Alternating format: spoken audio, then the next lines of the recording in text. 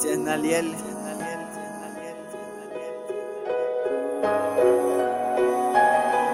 I'm distinguished now.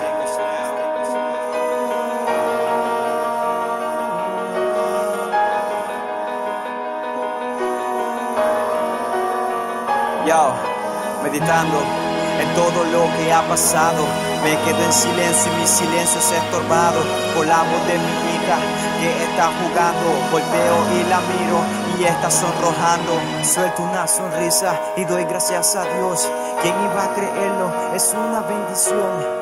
Hoy sigo aquí con la frente en alto, aunque en este mundo yo camino arrodillado. Muchos me han jugado y me han criticado que no debo estar feliz, que debería estar llorando, sufriendo las consecuencias de mis actos y por qué no ven sufriendo.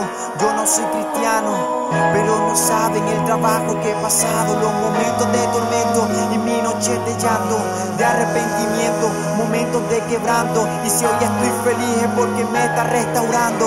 Ya dejé el orgullo, mi mayor pecado. Recuerdo mis comienzos, momentos de halago.